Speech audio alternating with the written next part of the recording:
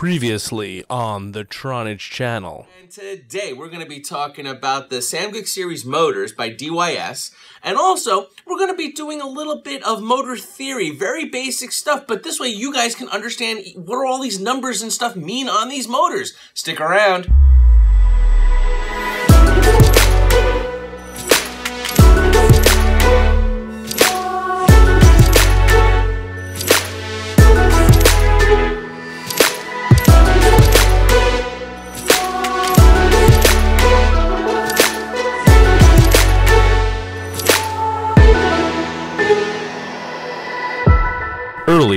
Part 1, Motor Theory. Parts. First, I really want to focus in on these Sam Samguk Series motors. I'm absolutely in love with them. They're only like 10 bucks a piece. You don't just need one, you need four. Some people like to fly a quad that feels very tight, very boom, you hit the gas and you're off. Why don't I bring you in close? We'll unbox them and take a look at them. And while we're at it, we'll talk about some of the parts about these motors also. So that just And now, the compelling conclusion in part 2. And this is where we begin the unboxing and review section of the video. All right, so on your left, my right, we have our Wei motor. It is the 2207, so it's 22 millimeters wide by 7 millimeters tall. And it's a 2300 kV, which is the lower of the kVs in the Wei series. And we have a Shu motor, with the 2306, so it's 23 millimeters wide by 6 millimeters tall. And it's a 2500 kV motor, which is the middle of the Shu series. This motor I have because I'm going to be specking this out for my budget build that's going to be coming very soon. This is what I'm going to be using in it. And it's going to be designed kind of for your entry level, for your beginner, but it's still going to grow with you and it's going to basically get you through, you know, all your learning stages. And we're going to be using the lower KV because I just like the way it feels to put a little bit bigger, a little bit heavier, a little bit more aggressive prop on a quad. So that's why we're going to go a little lower KV. This one, on the other hand, I have is I use these for my really like aggressive, super when I want to just beat the heck out of uh, freestyle and racing kind of stuff because they just have so much punch to them, but it's a little, it, you can get out of control a lot with those, but we'll get into that. So let's unbox these and take a look and see what they look like. So let's do the Wei first. Comes in a little bag, little goodies, and there's a little story in here. So the the naming of it comes I don't remember the exact story, but some there's a whole story here if you want to read where the the Wei, the Wu, and the Shu comes from, and it tells you a whole little little history and stuff like that, which is kind of cool that they include that, and there's like actual meaning behind the name naming of a product. I think that's pretty nifty. Um, you know, it's a nice little touch. So this one comes with the motor nut and some screws to anchor it onto your frame. It also comes with a couple spare uh, clips, little C-clip action things to hold it in together, and we'll cover what those are in a moment. And then we have the motor itself, which I'll take out of its little baggie here. Okay. And there we have the Wei motor. We'll put it there for now. And now let's take a look at the Shu.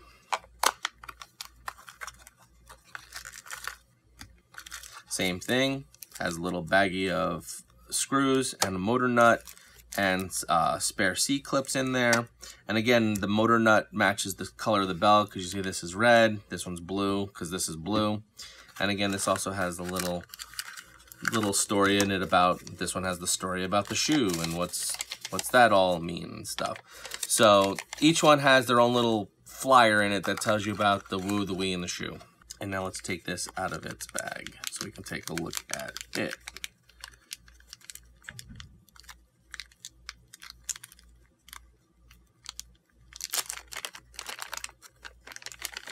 Okay.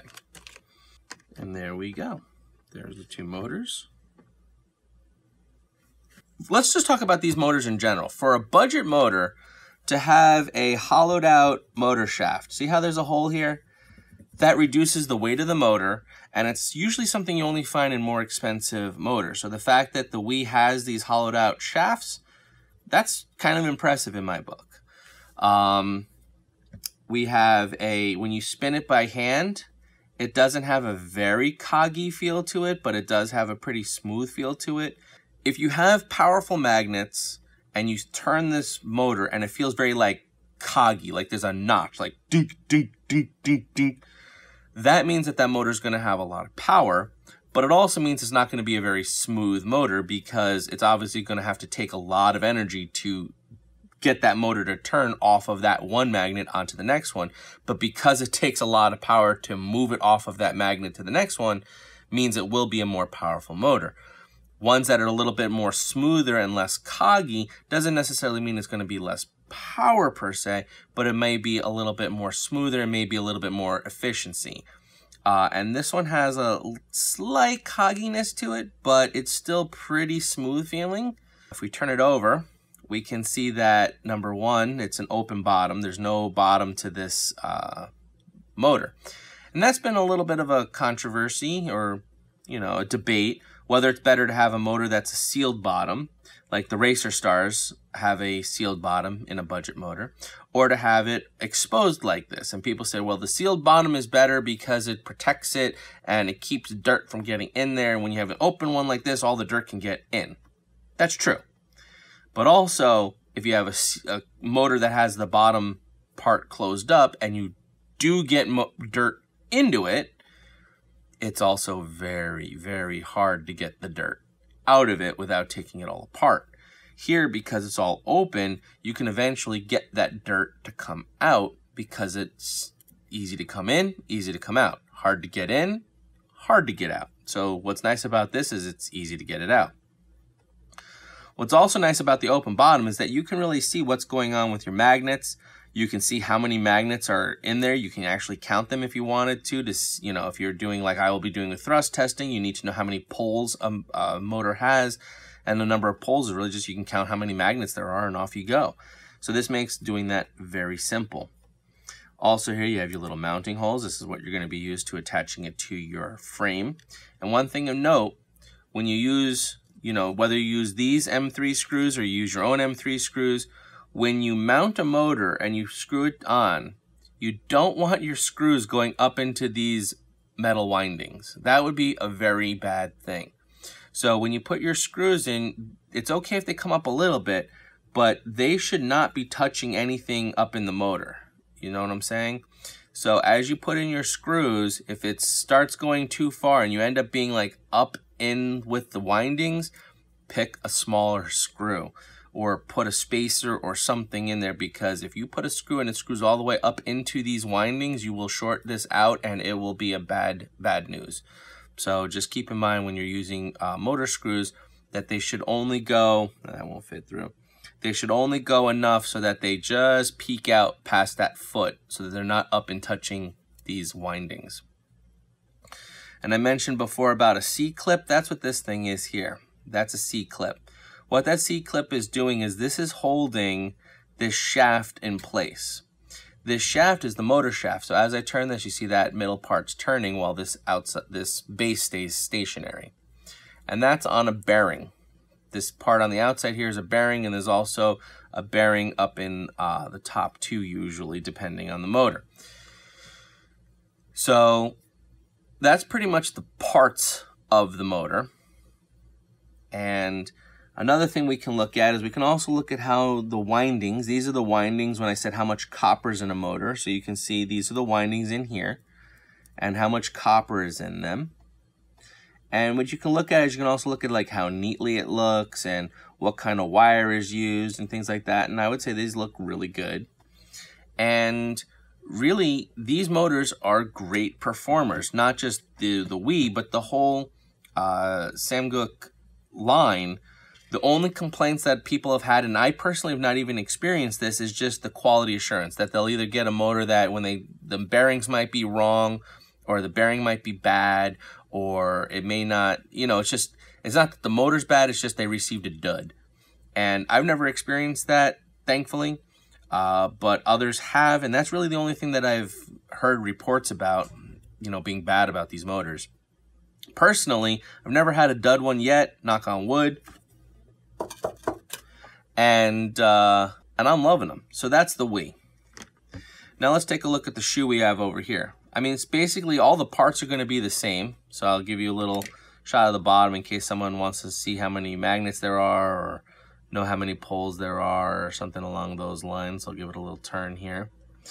Now, the Shu one does feel a slight bit more coggy than the Wei does, but that's a little bit understandable because it is a little bit more of a powerful motor in my opinion. So it does have a little bit more coggy of a feel to it, but it's still pretty smooth.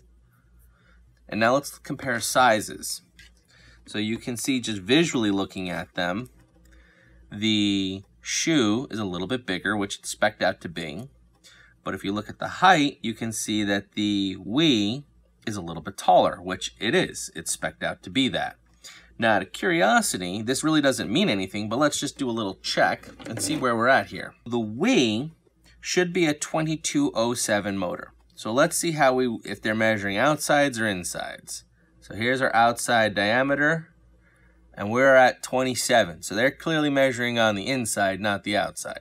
So let's take a measurement from the inside then and this is another advantage of the bottom mount being open, we can see the inside. So we are, and there we go. So we're at 22.6. I'm sure it's right around 22.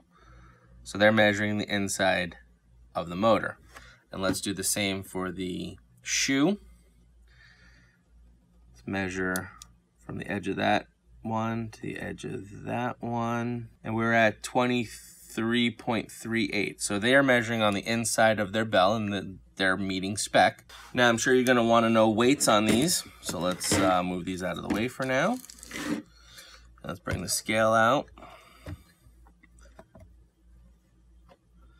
Okay, so the Wei motor, 35 grams, and we'll throw on the pack because you're going to have the mounting screws, you're going to have the motor washer on there, you're going to have all that on there too, so let's throw that on we're at 38 grams. And for the Shu, with its little pack of goodies, we're at 38 grams. So as far as weight goes, they weigh about the same. And that makes sense that they kind of weigh the same because it's where you're going to put that copper. This one got bigger, but it's only 6 millimeters tall. This one is smaller, but 7 millimeters tall. So here's the best way to put how this is to, how these two motors compare to each other. Like we said earlier in the very beginning, where you're using a wrench to do a bolt and the bolt is stuck. Because this is a wider bell on this motor, it's to be more torquey. So this is like you're using a wrench with a longer arm.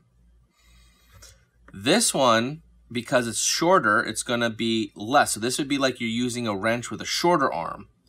But because it's taller, you got your friend who's stronger to push it. And that's kind of the difference between these two. This one's using mechanical advantage to get the torque. This one's using the, the copper in it to get the torque. And that's how they kind of will act accordingly. So we got our weights. We talked about all the different parts on them. Let's also talk about these wires that come off of them. They're nice and long, which is a really nice touch. They are, you know, pretty darn good.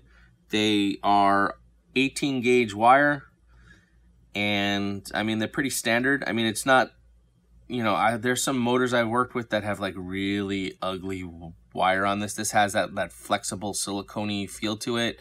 It doesn't have like that just gross, ugly, stiff wire feel to it. So these will be good if you're doing like a 4-in-1 ESC and you need to route it around or whatnot. Like let's say you're using the uh, the uh, oh my god remix frame and it has to come out and then it goes around and then it goes underneath and then it you know you have a nice long wire to work with and it's very flexible to bend it around or if you're just going to be using you know a standard uh, traditional setup where your ESCs are on the motor arms then you just you know cut and you're going to attach it as such but ultimately um I've never been so impressed by a motor before. I, I feel like, you know, I've used some of the other budget ones before and they just didn't perform to what you thought they would. These perform and they don't leave you feeling like you want more.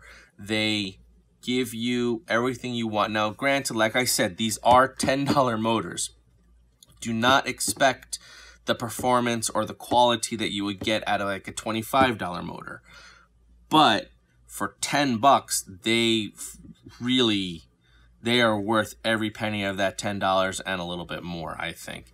Plus, it just the the quality on them just looks so nice. I think that they just. I know other people may complain about the quality, but I mean, I don't know. They just have. They just. They just feel solid. There's no like the. There's no vertical movement at all. It's nice and tight. I feel nothing moving, at all. On either of these, it's a very tight. There's no slop in it. It just spins. It's got a good spin to it. It's very smooth. And on a, a craft, these things rock. All right, so that's why I love these motors. These Samguk motors, since they've come out, I've been using them on all my builds since then. I was using those Racerstar ones, and they just always, the Racerstars just always made me feel a little like, oh man, it's just, doesn't have that oomph that you want it to based on its specs. It specced out like it's going to do that, but then it's just kind of like, eh that's kind of how the Racerstars were doing for a budget motor. These motors are not much more expensive than the Racerstar ones. They're a little bit more expensive, but not much. And they perform like night and day. Like I haven't, I've moved on from Racerstar and haven't even looked back. Now I'm looking at these motors. These are my favorite motors. They're the motors I use on all my builds. The Wei motor, this is actually going to be the motor that I'm going to be putting on my uh, budget build video uh, because it is for what you get and the price, it is phenomenal. Now, the links to these motors will all be down in the description below if you want to go check them out. I appreciate if you use the links. They are affiliate links and it helps support the channel if you purchase it, you know, you know, and just clicking the link, even if you purchase something else, I just appreciate that because I also get credit for that too. Um, but I really recommend you go check out these motors. And while you're down there, why don't you hit that subscribe button if you haven't already? Maybe even hit that bell so you can get notifications about my videos when they're posted and you can keep up with the latest and greatest. It just helps finding my videos a little bit easier and it's free. You don't have to pay anything to subscribe to my channel. It's just basically you're in the know and when I post new videos, new content, you're let know that that's coming out and coming to you. But I hope you learned something today ba basically about the different numbers that are on these motors. I hope that was kind of helpful for helping you choose a motor, whether it be these, the Samguk series motors or just any motor in general. I hope I kind of helped explain what those numbers mean and what you're looking for when choosing a motor and prop combination per se. And like I mentioned, there will be uh, future videos coming out that I'm going to be going pretty in depth with testing different motor and prop combinations to give you kind of real world, not manufacturer specs. Because manufacturers, let's be honest, they might lie. They may fudge the truth a little. They may bend the numbers and the figures to make it look like it's better than it really is. But, you know, when you have someone who's just running a test and giving you data, I feel like that's a little bit more reliable and gives you a little bit more real world uh, information of what to expect. So I hope that was able to help you, and I will be doing that soon and in the future. So as always, my name is Tronage. Fly strong.